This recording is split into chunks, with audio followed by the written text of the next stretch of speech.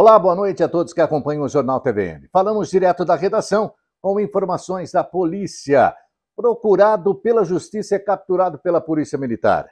A polícia fazia ronda no centro, em Matão, quando observou que um rapaz que estava mexendo em um local ali que tinha entulhos, né, alguma coisa ali, quando viu a polícia, um deitou no chão, tentou se esconder.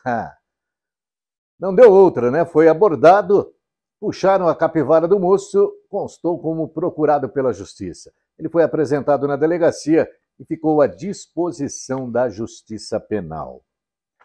Falamos em nome de Atacadão das Tintas, a loja do Fabrício. Chama que dá negócio.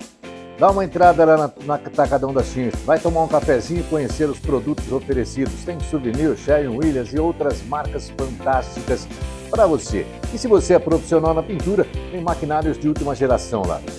Vou passar para você os dois WhatsApp aqui. 981348214, 997995332.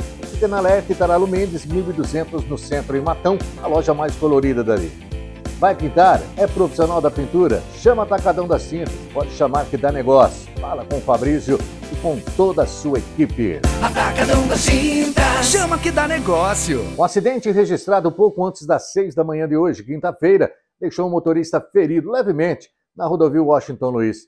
Nós passamos pelo local, né, pouco depois do acidente, temos as imagens aí para você e também fotos, né? do local em que a batida aconteceu. Quilômetro 321, exatamente na divisa, na placa de divisa entre Taquaritinga e Matão. Provavelmente, né, pela hora do acidente, o motorista pode ter dormido, dar aquela cochilada no volante. Quando acorda, já é tarde demais, né? Por sorte dele, tem o guarda-reio nessa pista aí, nesse local da pista, porque ali a queda, se cai lá embaixo, a queda é terrível, é muito alto ali o barranco nesse local aí da Washington Luiz, pouco antes, para quem vem de Rio Preto, Matão, pouco antes da ponte que dá acesso ali a São Lourenço do Turvo. Felizmente, o motorista teve apenas ferimentos leves. O pessoal da concessionária Eco Noroeste foi até o local prestar socorro e atendimento à vítima. São essas as informações de hoje, direto da redação. Eu volto amanhã. Abraço a todos. Tchau, tchau.